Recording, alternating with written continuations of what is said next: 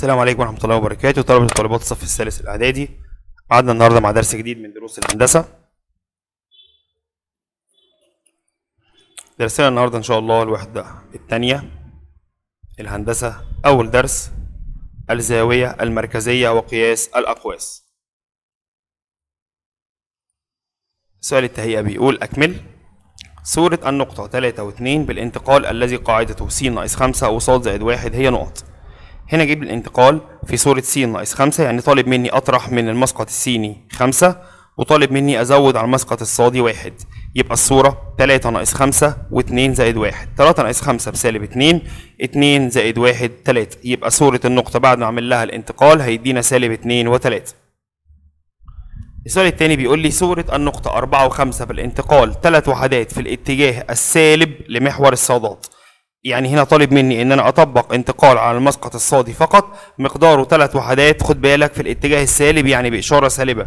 يعني المفروض هسيب السين أو المسقط السيني زي ما هو اللي هو الأربعة وأجي على المسقط الصادي هيبقى خمسة ناقص ثلاثة.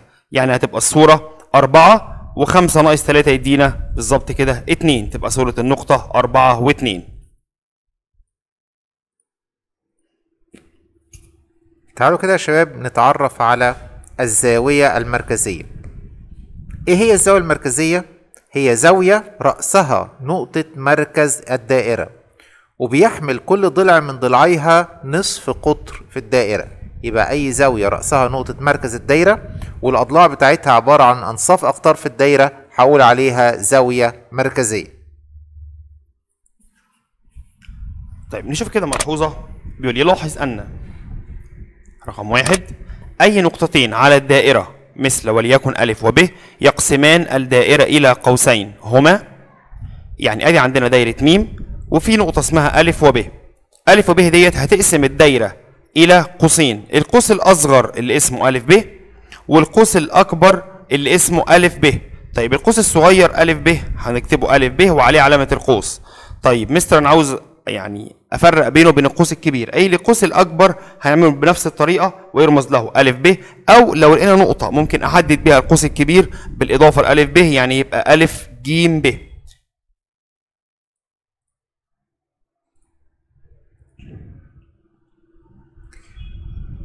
طب نشوف مع بعض كده الملاحظة التانية. الملاحظة التانية بيقول لي إيه؟ لو الألف ب قطر في الدائرة ميم يبقى معنى كده إن الزاوية ألف ميم ب اللي هي المركزية دي هتبقى عبارة عن زاوية مستقيمة. وبالتالي القوس اللي هو ألف س ب أو ألف صاد ب كل واحد فيهم هيبقى نصف دايرة.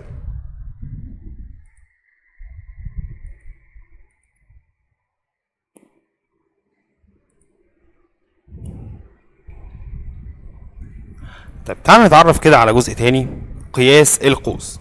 إحنا عرفنا من شوية إن لما يكون عندي نقطتين على الدائرة النقطتين دول بيعملوا أو بيقسموا الدايرة لقوسين قوس صغير وقوس كبير. الأقواس اللي هتقسم إليها الدايرة ديت أي لكل قوس منهم هيبقى ليه قياس. فبيقول لي إن قياس القوس بيساوي قياس الزاوية المركزية المقابلة له بالدرجات والدقائق والثواني. يعني أنا أقدر أحسب قياس القوس زي بالظبط قياس الزاوية المركزية اللي هي رأسها مركز الدايرة اللي بتكون مقابلة لهذا القوس. القوس ده برضو بيكون ليه طول. طول القوس بيقول لي هو جزء من محيط الدائرة. ويتناسب مع قياسه ويقاس بوحدات الأطوال زي المتر وزي السنتي وزي الديسي متر وهكذا. طيب طول القوس أقدر أحسبه إزاي؟ قياس القوس حسابه سهل إن أنا هقدر أجيب قياسه بنفس قياس الزاوية المركزية بنفس الرقم بالظبط. طب طوله؟ أي لطول القوس بيساوي قياس القوس على قياس الدائرة في محيط الدائرة. تاني؟ عشان أقدر أحسب قياس أو طول القوس لازم يكون عندي الأول قياس القوس. هقسمه على قياس الدايرة. قياس الدايرة بيساوي 360 درجة في محيط الدائرة اللي هي 2 في باي في نق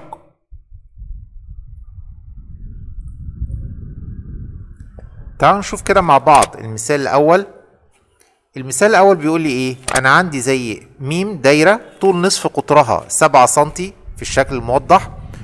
وقياس الزاوية ألف ميم ب ودي طبعا زاوية مركزية قياسها 120 درجة. عايز طول القوس ألف ب معتبرا إن الباي 22 على 7 طب نبدأ كده نفكر في الحل. أنا عارف القانون بتاع طول القوس.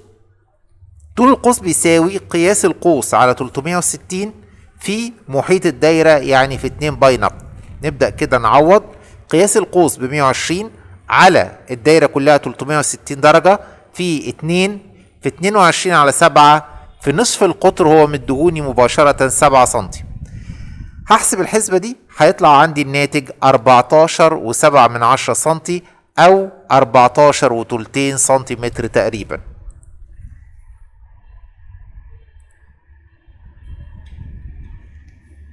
سؤال المتفوقين السؤال بيقول اوجد قياس القوس الذي يمثل 2 على 5 قياس الدائرة وإذا كان طول قطر الدايرة 70 سنتيمتر فأوجد طول هذا القوس. وبيقول لي معتبر إن باي تقريبا بتساوي 22 على 7 حل المسألة بتاعتك وابعت لنا إجابتك في تعليقات الفيديو.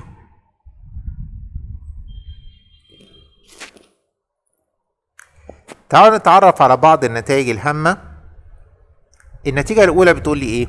في الدائرة الواحدة أو في الدوائر المتطابقة الأقواس المتساوية في القياس بتكون متساوية في الطول والعكس صحيح. يعني في الرسمة اللي قدامنا لو أنا عندي قياس القوس أ ب بيساوي قياس القوس ج د هيبقى طول القوس أ ب بيساوي طول القوس ج د رقم اتنين بيقول لي برضه في الدائرة الواحدة أو الدوائر المتطابقة. الأقواس المتساوية في في القياس أوتارها متساوية في الطول والعكس صحيح. يعني لو بصينا الرسمة اللي قدامنا بيقول لي إن الأقواس المتساوية في القياس يعني لو قلنا إن قياس القوس أ ب بيساوي قياس القوس د ج. فإن الوتر اللي بيحصره القوس أ ب بيساوي في الطول الوتر اللي بيحصره القوس د ج. بمعنى إن القطعة المستقيمة أ ب هتبقى بتساوي القطعة المستقيمة د ج.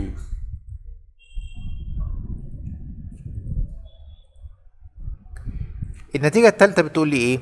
الوتران المتوازيان في الدائرة يحصران قوسين متساويين في القياس. فزي ما إحنا شايفين كده في الرسم أنا عندي الوتر ا ب بيوازي الوتر ج د يبقى أنا أقدر أستنتج إن قياس القوس ا ج بيساوي قياس القوس ب د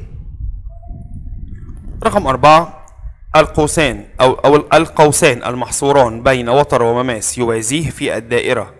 متساويان في القياس. يعني لو عندنا في دائرة ميم وتر اسمه أ ب ومماس اسمه ج د في الحالة ديت لو المماس والوتر متوازيين يبقى قياس القوسين اللي بيحصرهم المماس والوتر بيكونوا برضه متساويين في القياس. يعني لو قلنا إن ج د بيوازي أ ب يبقى قياس القوس أ ه بيساوي قياس القوس ه ب.